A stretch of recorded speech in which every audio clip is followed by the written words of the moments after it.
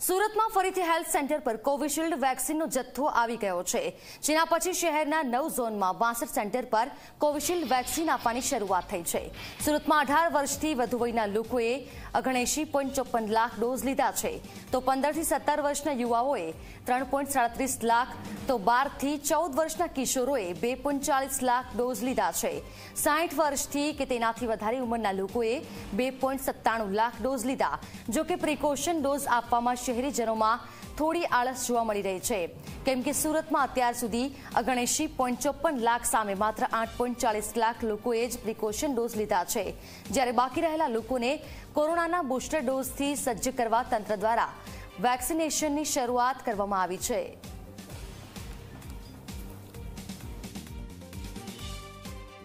સુરત મહાનગરપાલિકાના આરોગ્ય વિભાગ દ્વારા એકતાલીસ લાખ જેટલા લોકોને કોરોનાના કોવિડ વેક્સિનના પ્રથમ ડોઝથી આવરી લેવામાં આવ્યા છે તથા આડત્રીસ લાખ જેટલા લોકોએ કોરોના વેક્સિનનો બીજો ડોઝ લીધેલો છે.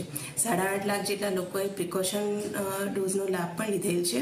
આ સાથે શહેરમાં આજથી કોવિશિલ્ડ તથા કોવેક્સિન બંને રસી ઉપલબ્ધ હોય શહેરના તમામ અર્બન હેલ્થ સેન્ટર્સ પર એકસઠ જેટલા કોવિડ રસીકરણ કેન્દ્રો હાલમાં આપણે કાર્યરત કરે છે. તે તમામ જગ્યાએ કોવેક્સિન તથા કોવિશિલ્ડ બંને રસી મળી શકશે તથા શહેરીજનો આ રસીકરણનો લાભ લઈ શકશે. રાજકોટ શહેર અને જિલ્લામાં વેક્સિનેશનની શરૂઆત થઈ છે. રાજકોટમાં આજથી ફરી વેક્સિનનો જથ્થો ઉપલબ્ધ કરાવાયો છે. આજે વેક્સિન સેન્ટર પર માત્ર ગણતરીના લોકો જોવા મળ્યા છે. પ્રિકોશન ડોઝ લેવા માટે લોકોમાં નિરસતા જોવા મળી. મહત્વનું છે કે રાજકોટ શહેર અને જિલ્લામાં રાજ્ય સરકારે વેક્સિનના બાર હજાર પાંચસો ડોઝ મોકલ્યા છે. જેમાં કોવિશિલ્ડના છ હજાર પાંચસો અને કોવેક્સિનના ચાર હજાર સાતસો ડોઝનો સમાવેશ થાય છે. કોરોના સામે સૌથી અસરકારક જે હથિયાર છે એ વેક્સિન છે.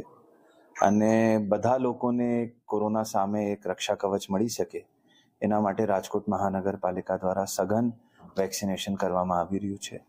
એમાં સગર્ભા હોય કે વૃદ્ધ હોય એને ઘરે જઈને પણ વેક્સિનેશન કરવામાં આવે છે હર ઘર દસ્તક હેઠળ.